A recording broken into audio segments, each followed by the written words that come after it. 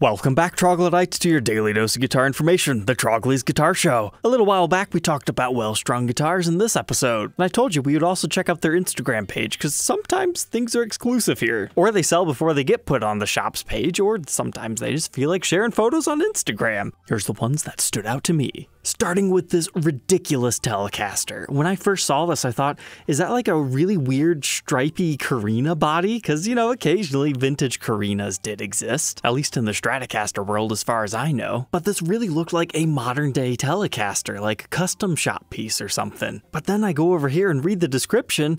Okay, so this was birthed by the guy who also birthed the Rosewood Telecaster that George Harrison used? Okay. So when I found out that this was a 70s Telecaster, apparently left the factory in 1975, that just blew my mind. But then I realized that's not just a one piece body here that just happened to have fascinating wood grain. These stripes are layered wood. So this is made out of ash. It's got some alder. There's rosewood in there. There's mahogany. Just about every single piece of wood that Fender has ever used on a body. All blending into one instrument with a black guard, even has the cover on it. This is such a cool piece. And if that's not enough for you, it's got a rosewood neck, maple cap, with matching skunk stripe on the back, and some of the wood even has some pretty intricate figuring. That's a Telecaster. That's cool. It's old. It's got a story. I fully agree with what they're saying here. It takes a crazy guy like me to appreciate this piece. But at the same time, I mean, you could just make a replica of this. Get a rosewood neck from one of the George Harrison Telecasters that are selling for way too much now on the used market, and have Warmoth make you a custom body. It's not that we couldn't make this again. It's cool because it does exist in the 70s, which is the whole story of well-strung guitars. That's why they get people like Kirk Hammett visiting, and they get the guys at Gibson to actually buy a real Explorer. but just like the last episode, they don't publicly list their prices. Probably because they're not for the faint of heart.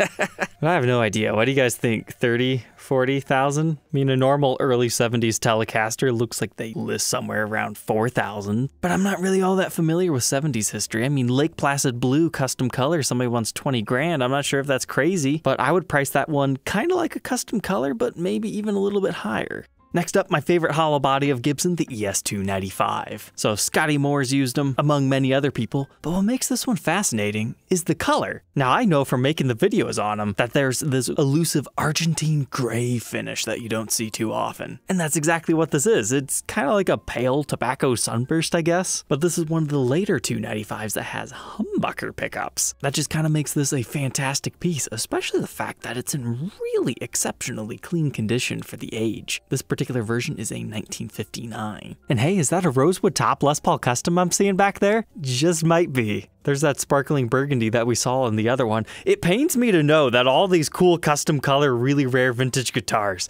are just sitting on a wall like at a guitar center. That, that'd be so cool to see. And they even did it on the back. But I'm really digging the neck on this. That's kind of where that gray hue comes from. Argentine gray, cool color. Next up, I get excited when I see the first reissue of this model show up from late 90s, early 2000s. But to actually see a real 1957, this is a Mickey Baker Les Paul custom. So what's interesting about this, you zoom in here, uh, three knobs in a line, kind of like the Switchmaster ES5 styling. And these are individual volume controls, so neck volume, middle volume, bridge volume. But up here, it's where the nickname the Master Tone model comes from. Not Master Tone the brand, Master Tone from this is your Master Tone control for everyone. These are interesting guitars. You can check out my documentation of a reissue of this, but this looks like a, a real deal 50s model, which is like, yeah, I told you guys earlier, I don't really pine after the original 50s because I can buy a, lot of guitars for that kind of money that bring me more happiness.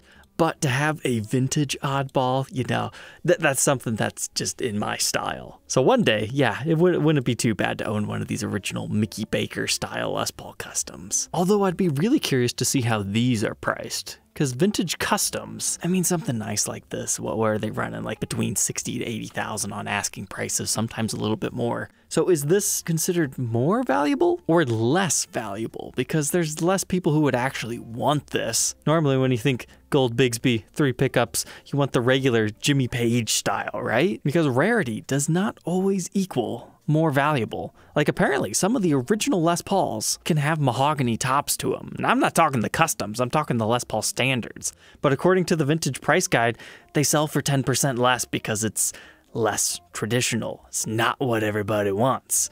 Whereas in my mindset, it should be more valuable because it's way more rare. But that's a stellar piece. And speaking of some cool stuff here, check this guy out. Now, this is rare, but not so rare that you're never going to see it, kind of like those other guitars. This is an original EBO F. The F stands for fuzz tone. That's right. All the way back in the mid 60s, when, you know, those pedals were first coming out, they had the great idea to blend it inside a guitar. Absolutely fantastic, right? I've always wanted to demo one of these. They're not all that expensive in the grand scheme of things as compared to other things we've been talking about. And this one has really cool wood grain and appears to be in great shape. No wonder it's in their whole museum collection. And it appears there might have been some different models with different controls. So if you want an interesting bass in your collection, you can actually go to Reverb right now. This one has a publicly listed price of, don't worry, you don't have to hold your breath on this or anything, only 3500 bucks. I mean, in comparison to these other guitars. yeah, relatively affordable. But vintage Gibson EB-0s really aren't that expensive to begin with, but that model definitely does sell for a slight premium. But next up, we go back to Fender territory. This absolutely blew my mind. Did Fender do Silverburst first? This was a custom order done for Eddie Bertrand, one of the pioneers of surf music, playing in groups such as Eddie and the Showmen, the Bel Airs, and the Challengers. I haven't listened to much of any surf music at all, but I can appreciate this for what it is. It nearly looks identical to a Silverburst just on a Stratocaster. Even looking down here, it appears to have some sort of like a silver base coat, but they just called it Sparkle Burst. But I love this when you're talking about vintage guitars. Old photos of them with it. I mean, that just looks like Silverburst. So Silverburst didn't come out for Gibson until 1977. That's the first prototype. As far as we found documented, it has a 77 serial number. The first half year is in 1970 1978. The first full year is 1979. So I don't know about your guys' math, but yeah, according to me, 1963 is way before that. So instead of worshiping Adam Jones, should we be worshiping Eddie? But anyways, it's a miracle they still have this trem plate cover. It's like, who keeps those things around? I would love to see Fender do a limited edition run of this. Like custom shop age relic, just copy this guitar. I think this one deserves it. That would be a cool stories collection. And even though Fender doesn't do it too often, they should definitely do it on the neck too, but it looks like we got some flame figuring on this one, so pretty good that they didn't. Definitely an interesting color that's aged cool.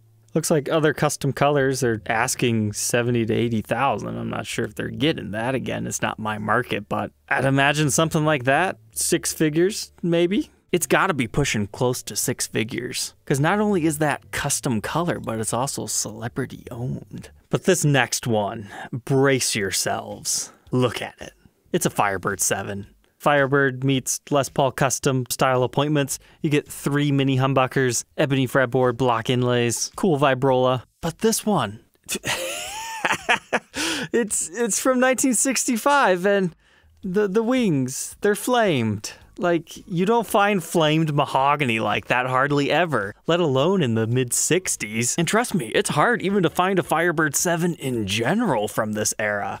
So to find one with all that, that's that's insane. That that's just unfair.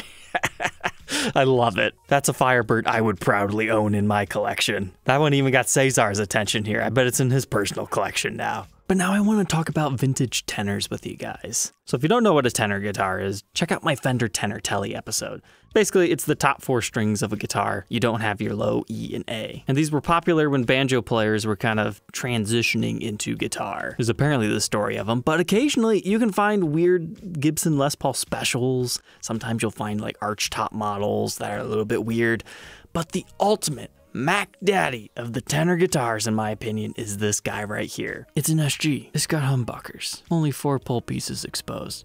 It's got a rinky dinky tiny little baby ABR1 bridge. It's got a Bigsby on it, which I'm not too crazy about, but hey, it's blingy. But nothing, and I promise you, nothing can prepare you for this headstock. No, I'm not showing you the wrong photo. That's that that's the right photo. It has a Firebird headstock.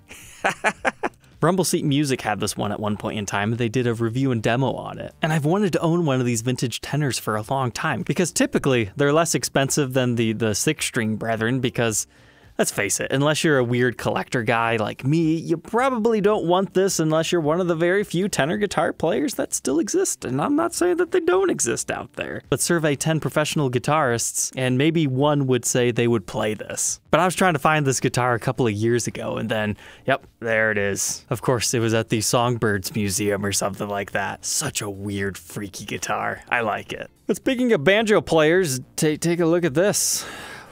1959 Gibson Les Paul double cut, kind of. Maybe maybe we should call it the triple cut electric banjo. So it's kind of got tenor guitar elements to it as far as they have to cap off the additional pole pieces with the mother of pearl. Usually they're just regular pickups under there. Just like the ABR1 bridge. Apparently those are pearloid inserts. This has also got the Bigsby, only two controls. But then we get like the banjo tie style inlays on this. And then it's a Gibson banjo neck. I mean, what were we expecting? But it's just so strange how it's a, a, chopped off body. And apparently, this is factory. This isn't modified stuff. I'd be scared of how you know this stuff is original. But if that's not enough for you, Stinger on the back of the headstock. Custom ordered four string electric guitars just, they're so doofy looking. That's why I love them. It's because I feel bad for them. I want to give them all a great loving home. All right, troglodytes, let me know which one is your favorite down in the comment section. Don't forget to like, comment, and subscribe, and we will catch you tomorrow on the next one. Take care.